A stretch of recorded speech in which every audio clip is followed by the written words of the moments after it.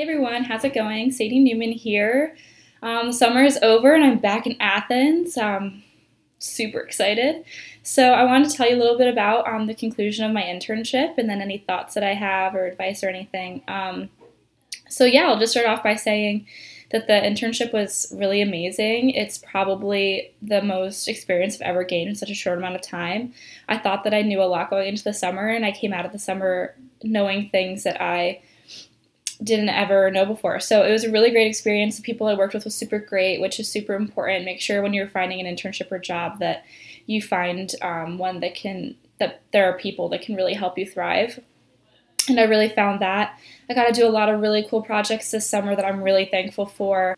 I got to do a lot of things that normally interns didn't get to do, which is something good. So make sure you're asking for projects when you're finished projects because you get new things that not every intern will get to do.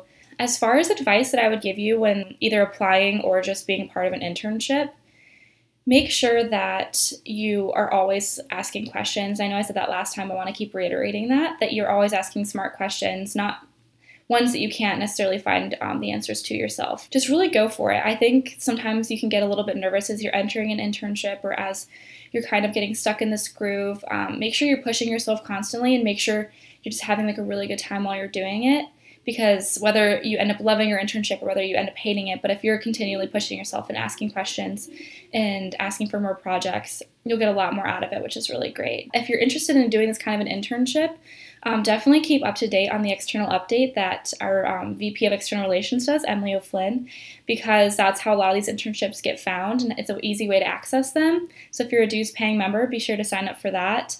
Um, because Emily does a great job at trying to find different internships and things. And the Fahlgren one is always on there. So it's a really great way if you're interested in agency life.